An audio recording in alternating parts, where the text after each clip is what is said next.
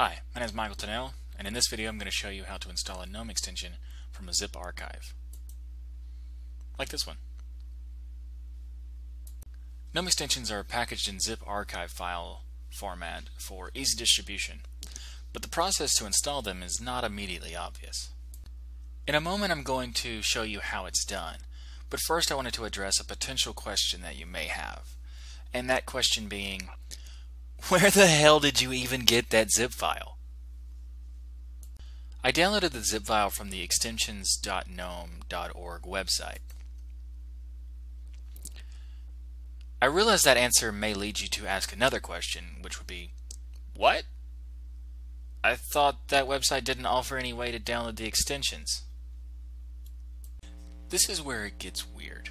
The extensions.gnome.org website, or as I like to call it, Ego the Living website.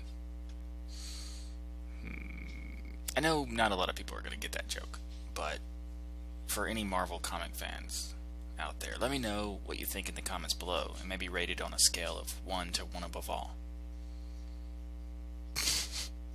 okay, sorry. I'm done with the nerdy comic puns. Anyway, the Ego website does actually offer the option of downloading zip files for the extensions but it doesn't tell you that anywhere. And it doesn't even imply that it's possible. So any confusion you might have is completely understandable and expected. I found out that it was possible during multiple conversations with some GNOME developers, and they couldn't give me an answer as to why it's not ever presented to users.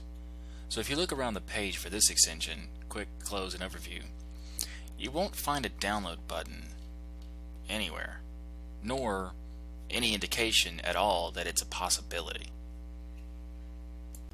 Unfortunately, I can't show you how to get them in this video because it's a bit out of scope for this tutorial.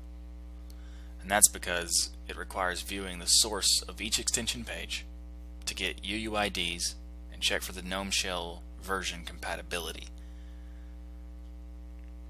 Yeah. However, I'm actually working on a solution to simplify the process.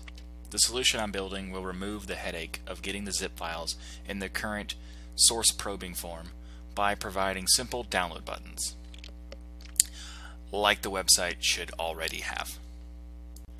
Before we continue, here's a quick demo of what my solution does. This is what it looks like with the, my solution turned off, and this is what it looks like with it turned on. As you can see, there are now is a nice list of download buttons for five of the latest GNOME versions. In the next video, I'll go into detail as to what all my solution does, and how to get it, of course. But for now, let's finally get to the tutorial.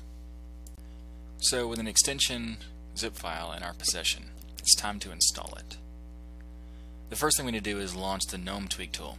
This can be done in a variety of ways, but I'm going to use the default GNOME method of using the overview search.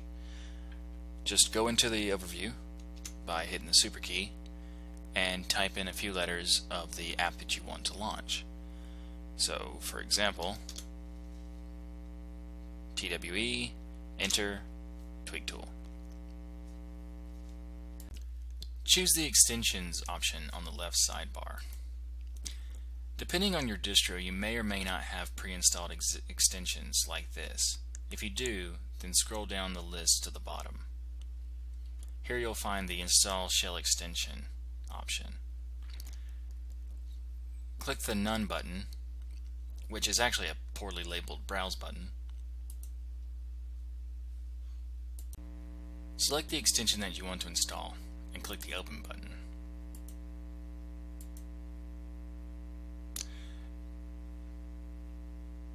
You'll see a notification pop up informing you that you need to restart your session to activate the extension. This notification has a button right here to restart from the notification, but I'd advise against that because some distros make that button log you out instead of restarting the GNOME shell. And all you really need to do is just restart the GNOME shell. I'm now going to close the tweak tool because of a limitation it has of not updating the extensions list without closing the app first.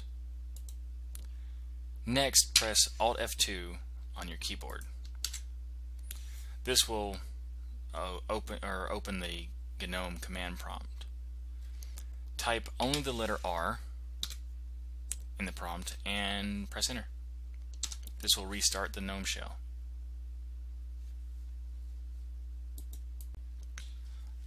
Open the GNOME Tweak tool again and go back to the extensions list.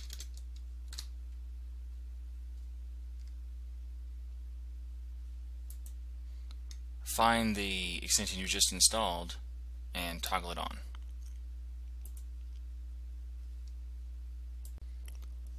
That's pretty much it.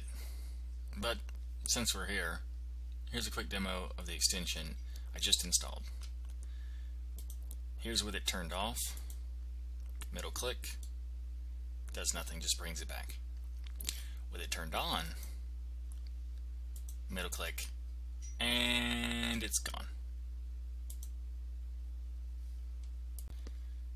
Thanks for watching my video on how to install GNOME extensions via a zip file.